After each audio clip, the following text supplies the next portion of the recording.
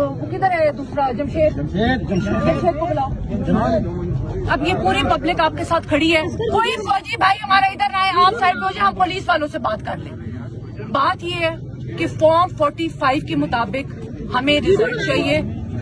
Form चुप करके मेरी मुझे बात करने आर साहब यहाँ खुद आएँगे ठीक है? आपको पता है आप असगर डीएसपी साहब इस बात के चशमदीद गवाह हैं कि मुझे अंदर एंटर नहीं होने दिया। गेट के पास आप खड़े हुए थे, आपकी पूरी वीडियो एविडेंस मौजूद है, आपकी भी मजबूरी है। मैं आपको ब्लेम नहीं करती। आपकी भी मजबूरी है, क्योंकि ऊपर से जो इंस्ट्रक्शंस आपको आ रही हैं, आप उसके मुताबिक चलते रहे ठीक है? आप लोगों के भी इतना हक बनता है कि कम से कम आप लोग भी हक और सच का साथ दें। मैं पूरी रात, मैं पूरी रात गेट के बाहर आप गवाए के खड़ी रही। मुझे अंदर आर साहब ने आप लोगों को इजाज़त नहीं दी कि मुझे अंदर आने की इजाज़त मिले।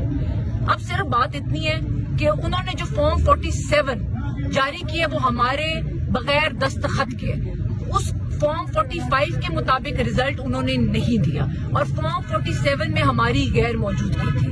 अब आर साहब आएँगे, हमें फॉर्म 45 के मुताबिक अपना रिज़ल्ट चाहिए और फॉर्म 47 पे हम अपने दस्तखत करेंगे। ये सिंपल सी बात है। अगर वो कहते हैं कि लोगों को बाहर निकालना है, आप अपने जो भी सीओ साहब है जो भी आप कह रहे हैं उन्हें कहे कि मैं अलहदा यहाँ पे खड़ी होंगी आपने अगर गोली मारनी है आप आवाम को कुछ नहीं कहेंगे। आप मुझे मारे। अगर आपने गोली मारनी है मेरी वालदा खड़ी है आप इनको मारे। और इसके अलावा पब्लिक को ना कोई हाथ लगाएगा ना कोई और चीज़ होगी। मैं कैंडिडेट हूँ। मैं कैंडिडेट हूँ। आप मुझे गोली मारे आप उनसे पूछ लें। आर साहब हम बार फिर रिक्वेस्ट कर रहे हैं। हम किसी सूरत कानून को हाथ में नहीं लेंगे। आप आर साहब को कहें कि वो यहाँ पे तशरीफ़ लाए वो आके मेरी एप्लीकेशन ले उसके बाद हम सब यहाँ वो किधर है दूसरा? जमशेद? जमशेद को बुलाओ। अब ये पूरी पब्लिक आपके साथ खड़ी है। कोई फौजी भाई हमारा इधर ना आए आप साइड पे हो जाए हम पुलिस वालों से बात कर लें। बात ये है कि फॉर्म 45 के मुताबिक हमें रिज़ल्ट चाहिए। फॉर्म चुप करके मेरी मुझे बात करने आर साहब यहाँ खुद आएँगे। ठीक है? आपको पता है, आप असगर डीएसपी साहब इस बात के चशमदीद गवाह हैं कि मुझे अंदर एंटर नहीं होने दिया। गेट के पास आप खड़े हुए थे, आपकी पूरी वीडियो एविडेंस मौजूद है। आपकी भी मजबूरी है। मैं आपको ब्लेम नहीं करती।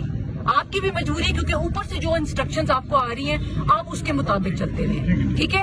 आप लोगों के भी इतना हक बनता है कि कम से कम आप लोग भी हक और सच का साथ दें। मैं पूरी रात मैं पूरी रात गेट के बाहर आप गवाए के खड़ी रही। मुझे अंदर आर साहब ने आप लोगों को इजाज़त नहीं दी कि मुझे अंदर आने की इजाज़त मिले। अब सिर्फ़ बात इतनी है कि उन्होंने जो फॉर्म 47 जारी किया वो हमारे बगैर दस्तखत के उस फॉर्म 45 के मुताबिक रिज़ल्ट उन्होंने नहीं दिया और फॉर्म 47 में हमारी गैर मौजूदगी थी।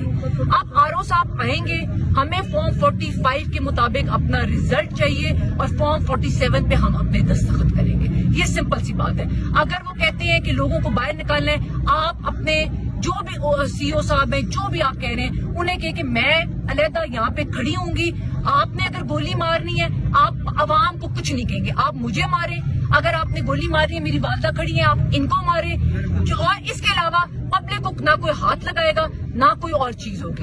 मैं कैंडिडेट हूँ मैं कैंडिडेट हूँ आप मुझे गोली मारे आप उनसे पूछ लें आर साहब हम बार फिर रिक्वेस्ट कर रहे हैं। हम किसी सूरत कानून को हाथ में नहीं लेंगे। आप आर साहब को कहें कि वो यहाँ पे तशरीफ़ लाए वो आके मेरी एप्लीकेशन ले उसके बाद हम सब यहाँ